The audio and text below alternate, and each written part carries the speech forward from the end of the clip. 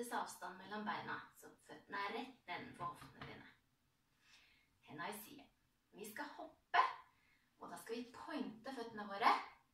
Det vil si at vi strekker føttene under oss. Så vi skal hoppe til siden. Én. Andre siden. To. Og så skal vi hoppe litt fortere. Én, to, tre. Så snur vi et kvarter på klokka. Vi gjør det samme her. Vi hopper én. Andre siden to. Og litt raskere. Én, to, tre. Så tar vi et kvarter til. Da havner vi med ryggen fram. Vi hopper én og to. Og én, to, tre. Og et kvarter til. Vi hopper én og to. Og én, to, tre. Og så et siste kvarter. Da kommer vi tilbake til front. Så skal vi gå opp på tåball. Så jeg løfter foten min opp på tåball. Én og to og tre. Så går jeg opp på tå på begge føtter. Ned på den andre foten. Så nå er det venstrefoten min som er på tå. Og så setter jeg den i bakken. Motsatt. Nå er det venstre fot. Én og to og tre. Opp på tå. Motsatt fot. Og sett ned. Yes. Neste vi skal gjøre, da skal vi tenke at gulvet er en trampoline.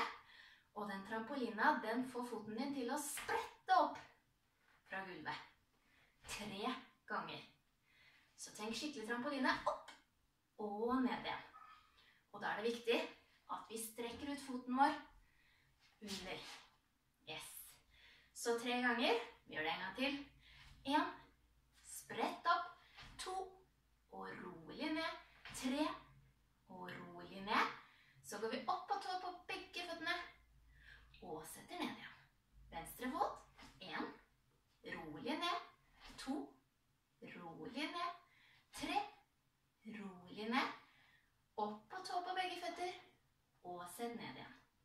Yes. Nå skal vi se for oss at det er en snor festa i kneet ditt. Og den snora, den er det noen som drar i oppe fra taket. Sånn at beinet ditt, det fyker opp. Sjopp!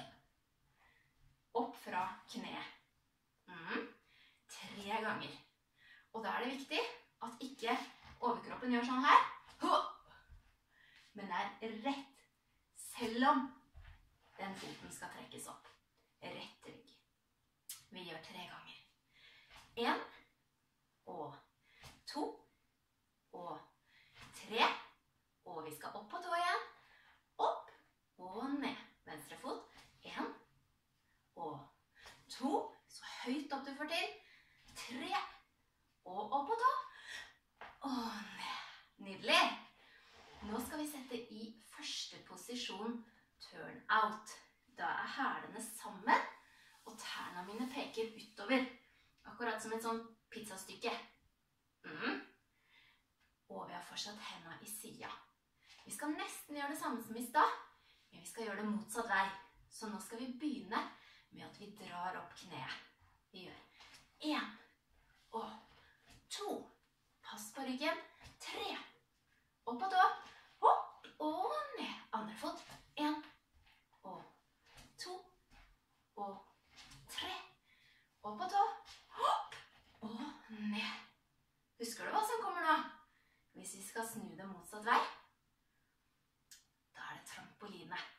Vi gjør tre ganger. Én og to. Pass på å samle hælene. Tre. Opp på tå og ned. Én og to og tre. Og opp på tå og ned. Og hva kom nå, da? Og nå må vi tenke. Det var opp på tåball. Vi gjør én og to. Skyv godt over. Tre. Opp på begge tær så høyt opp du kan. Ned på motsatt fot. Og sett ned. Samle hælene. Venstre bein. Én. Og to. Og tre. Opp på begge. Og sett ned. Og ned. Nydelig. Nå skal armene ut til siden. Langt utover. Uten at skuldrene kommer helt opp til ørene. De må ned i ryggen. Yes. Vi skal gjøre noe som heter tandy. Og da skal foten vår gå fram uten at vi bøyer kneet. Så vi må ha helt strake knær. Ikke lov å bøye knærne. Og samtidig så skal det ene benet strekkes helt fram, helt ut i store tåa di. Og tilbake igjen. Helt inn til første posisjon, turn out. En gang til. Helt fram. Og inn igjen. Og en siste gang skal vi gjøre det samme. Helt fram uten å bøye kneet. Og så holder vi her lite grann. Og så kommer vi tilbake. Nydelig. Venstre fot. Ikke bøye knærne. Strekke helt fram. Helt ut i stortåa di. Tilbake til første posisjon. Og to. Og tre. Hold, hold og sett inn. Bra. Siden. Da går foten utfor der tærne dine peker. Så den retningen som tærne dine peker, der skal nå benet føres ut uten å bøye kne.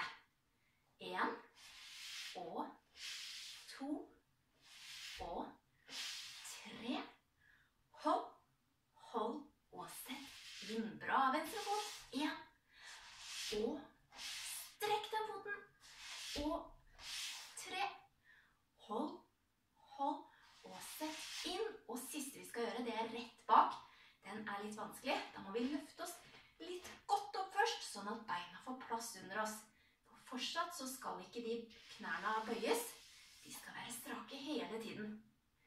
Én og to og tre. Hold, hold og inn siste. Én og to og tre. Hold, hold, sett inn. Og nå er